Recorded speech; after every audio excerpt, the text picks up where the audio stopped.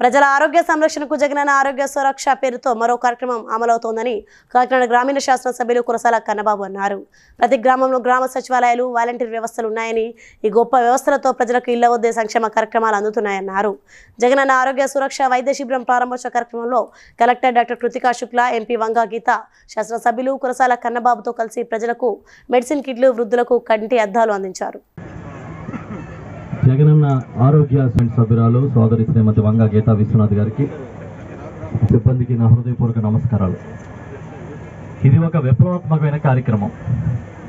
ఈ రాష్ట్రంలో ఉన్న ఒక కోటి అరవై లక్షల ఇళ్ళకి వెళ్ళి ప్రతి ఇంట్లోని మీకు ఏమైనా ఆరోగ్య సమస్య ఉందా అని తెలుసుకుని మీకు ఉచితంగా ఇంటి దగ్గరే పరీక్షలు చేసి ఆ తర్వాత ఒక శిబిరాన్ని మీ గ్రామంలో నిర్వహించి ఆ హెల్త్ క్యాంప్కి మిమ్మల్ని అందరినీ తీసుకొచ్చి మీకు పరీక్షలు చేసి అవసరమైన మందులు ఎందుకంటే ఆరోగ్యం బాగుండాలి వైద్యం అందించాలి అన్నిటికీ మించి విద్యను అందించాలి.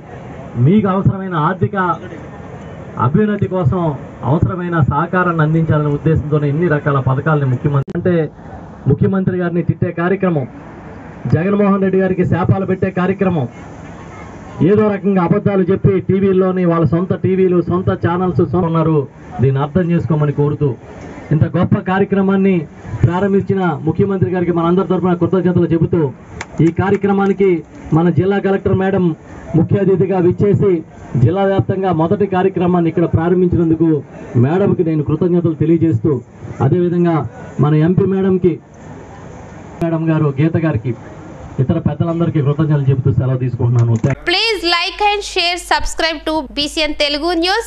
Please like, share and subscribe to BCN Telugu News.